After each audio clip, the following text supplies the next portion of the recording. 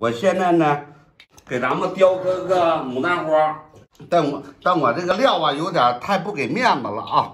你看在冰箱里放的色儿也不好看了啊，但问题不大，不好看能变成非常好看啊！咱看一下，用这个呢雕什么呢？雕那个月季花啊，看看，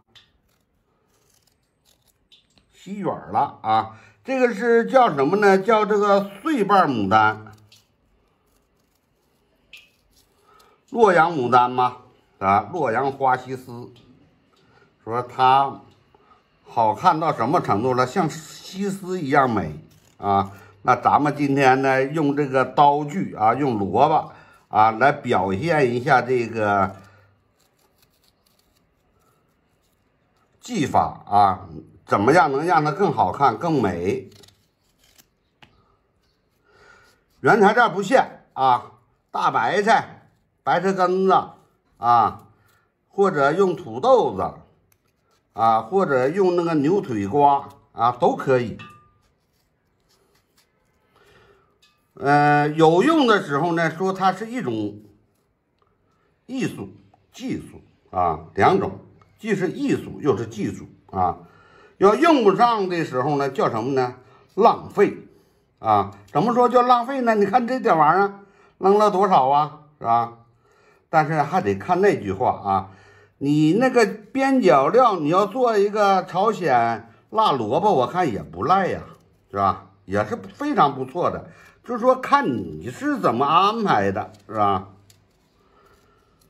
但呢，这个呢，一般呢都是干专业呢用这个东西，不干专业很少人整这个，是吧？在家谁整它呀？那不，我觉得有点玩笑了就。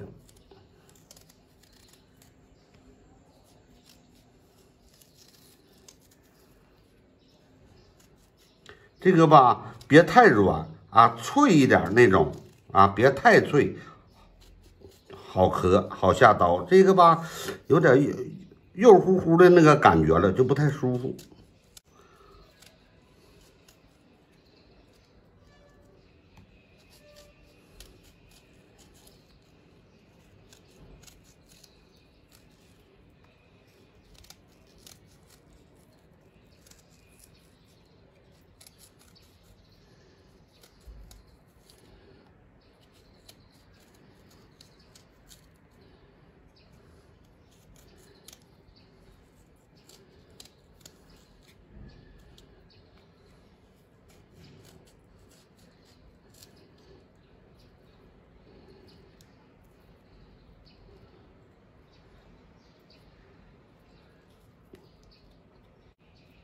直接给它切下来得了，不磕了。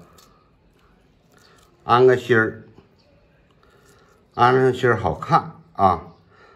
有人问了，说你是不是磕不下去了？不是，啊，那不是和那个概念那还差远了，要磕不下去。嗯，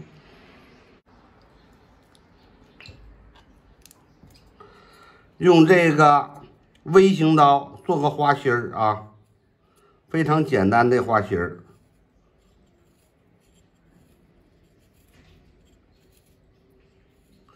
有有的那个网友说，我看有不少人呢，就是在这动两下子就完事儿了，不知道怎么磕的就磕完了啊。咱们不能啊，我始终让你看着，这非常简单这个活儿啊。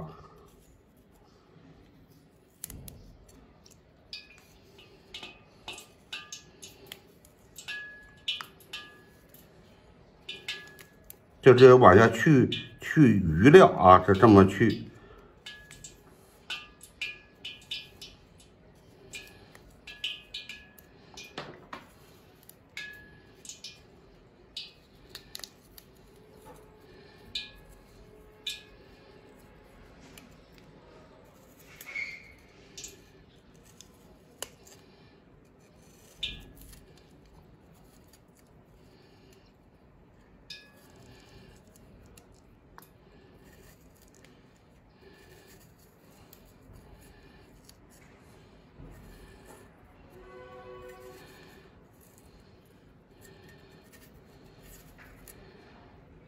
去掉两两刀，下个小叶片，两刀，下个小叶片食指呢这种刻法呢就是菊花的刻法。下一个视频呢我也做啊，这菊花。愿意学呢这就算是活好，这花呢就做好了，看一下就这样。